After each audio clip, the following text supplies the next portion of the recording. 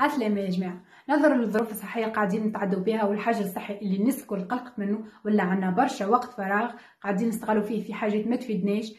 علاش ما نستعملوهاش في حاجات تفيدنا؟ ندخلوا للكوجينة مثلا نتعلموا حاجات جديدة. نتعلموا نطيبوا نذوقوا.